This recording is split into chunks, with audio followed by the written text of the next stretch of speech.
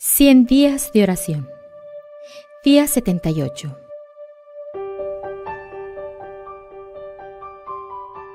Mas tú, cuando ores, entra en tu aposento y cerrada la puerta, ora a tu Padre que está en secreto, y tu Padre que ve en lo secreto te recompensará en público. Mateo 6, 6. Hoy viernes 12 de junio del 2020, Oremos por más fe y avivamiento con Dios, especialmente durante este tiempo de crisis.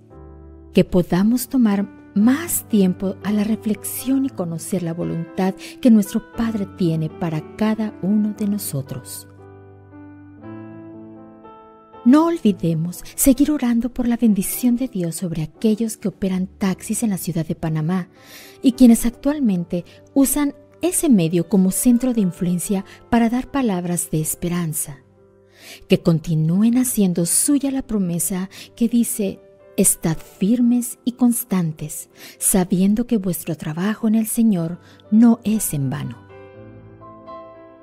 Oremos sin cesar por los planes de evangelismo que se tiene de grupos pequeños en la región occidental de Nigeria, que logren el proyecto bajo la dirección de Dios y puedan alcanzar a todas aquellas personas que divagan sin un propósito en sus vidas.